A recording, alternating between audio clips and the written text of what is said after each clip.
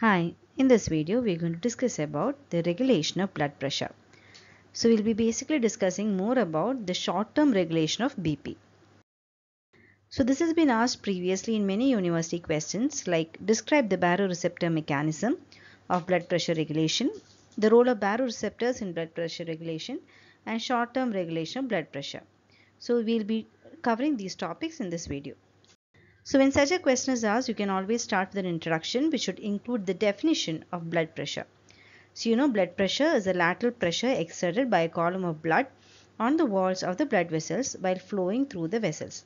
So as the blood flows through the vessels, it will exert a lateral pressure and that is called blood pressure. And it is maintained within a normal range by various regulatory mechanisms. So we know that the normal range is around 120 and 80 millimeters of mercury and it is maintained so by various regulatory mechanisms. So which are short-term regulation, intermediate regulation and long-term regulation. So there are three levels at which BP is regulated of which the first one is short-term regulation. So now uh, we can write about short-term regulation. So in short-term regulation the most important feature is that there is a rapid control of arterial pressure. So it occurs within seconds to minutes. So it has a very rapid control over our blood pressure and it mainly occurs through reflex mechanisms. So what are the different reflex mechanisms in short-term regulation? They are baroreceptor reflex, chemoreceptor reflex and ischemic response.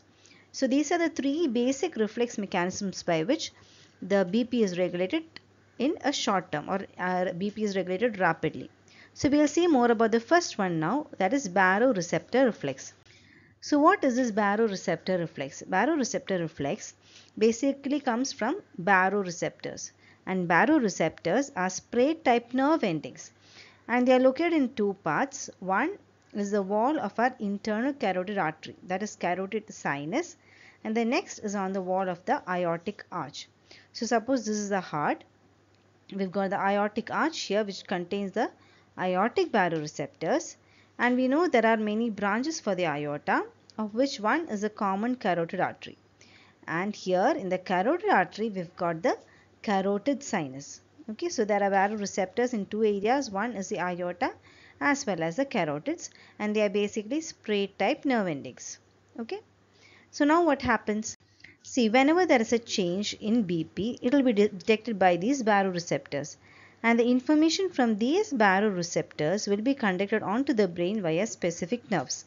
So, from the carotid sinus, the information reaches via the glossopharyngeal nerve, whereas from the aortic uh, baroreceptors, the information passes on via the vagus nerve.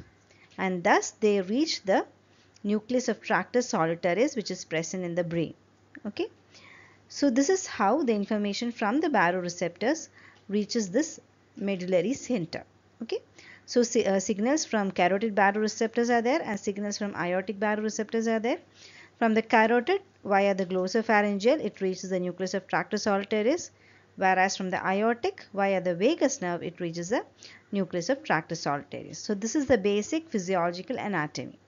So now we'll see about the reflex proper. So whenever there is an a change in the blood pressure what happens that will be detected by a carotid as well as the aortic baroreceptors. So there will be more stretch of the vessel wall and thus there will be increased discharge of these baroreceptors. And this information in turn will be transmitted via the glossopharyngeal and the vagus nerve to the medulla. And we said it reaches specifically the nucleus of tractus solitarius. Now what happens? See nucleus of tractus solitarius is like a sensor area. So once it receives these impulses, it will stimulate another area which is called the CVLM or the caudal ventral lateral medulla. Okay. And that is also called the vasodilator area. Right. So thus CVLM will be stimulated. And what will CVLM do? It will inhibit the other area that is RVLM, rostral ventrolateral medulla. That is a vasoconstrictor area. Okay. See basically we need when the BP is more, we need vasodilatation to occur. That is why the vasodilator area is stimulated whereas the vasoconstricted area is inhibited.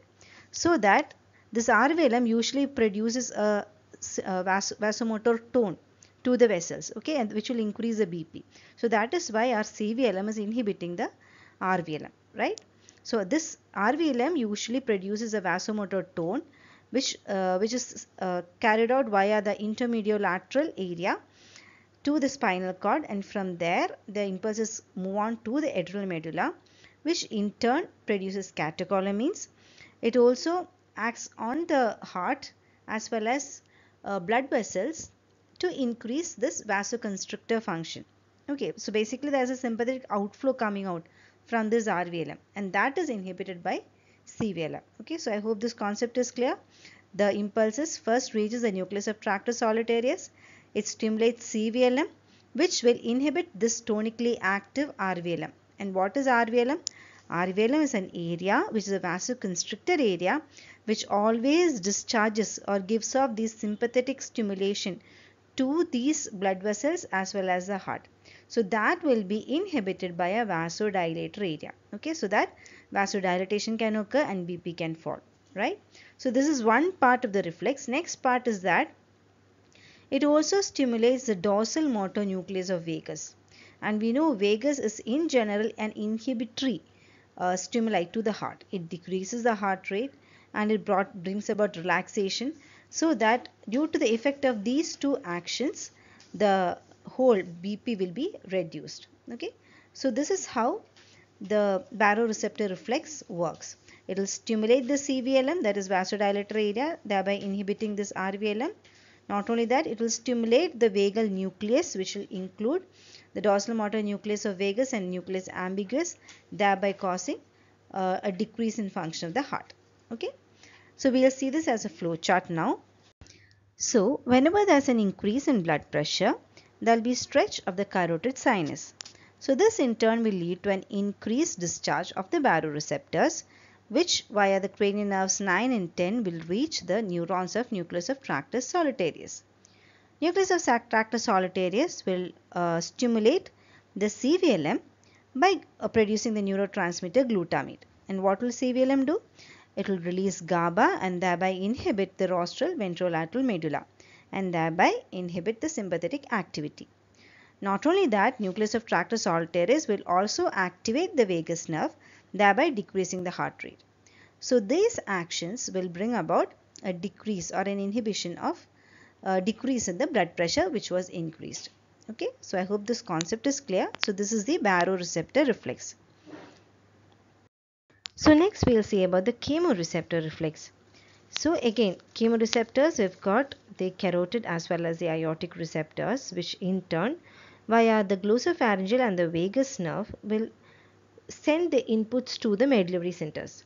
So here what happens is when there's a fall in BP, okay, so when there's a fall in BP, obviously there's going to be a decrease in the partial pressure of oxygen and an increase in partial pressure of carbon dioxide. This will be detected by the respiratory centers and they will be stimulated in order to produce hyperventilation as well as tachycardia. Okay. But not only the respiratory centers, the cardiovascular medullary centers like the cardio cardiac acceleratory center as well as the cardiac inhibitory center will be activated. The vasomotor center will be activated and thus there will be an intense vasoconstriction. So this is the primary effect of this chemoreceptor reflex. Because of that fall in BP, the chemoreceptors is going to stimulate the vasomotor center and thereby cause vasoconstriction.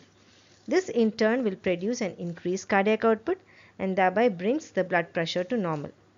So in, in one hand we'll think that by chemoreceptor reflex we'll have both tachycardia as well as an increase in BP. But no, there won't be a much tachycardia because the cardiac inhibitory center is also activated and cardiac inhibitory center always causes bradycardia. So there won't be much of a tachycardia here. So there will only be a slight increase in heart rate but there will be an increase in blood pressure. So this is how the chemoreceptor reflex works. Okay. So to re recap, when the BP falls, the partial pressure of oxygen and carbon dioxide will be different and this will stimulate the respiratory center which will cause hyperventilation and tachycardia. It will also stimulate the cardiac medullary centers which in turn will cause vasoconstriction, increase cardiac output and blood pressure. Now for some additional scoring points, you can also mention about Cushing's reaction, atrial stretch reflex as well as Bain, Bainbridge reflex. But uh, these are not that important when compared to the other three. So the, whenever short-term regulation is asked, The must know points are baroreceptor reflex, chemoreceptor reflex and CNS ischemic response. Okay. So to sum up, when a short note on uh, short-term regulation of BP is asked, you have to first start with an introduction, then write the what are the three mechanisms of regulation, and then move on to the short-term regulation, which should include the baroreceptor reflex, and then you can uh, draw a flowchart or a diagram of baroreceptor reflex, then chemoreceptor reflex, as well as CNS ischemic response. So I hope this concept is clear. Thank you.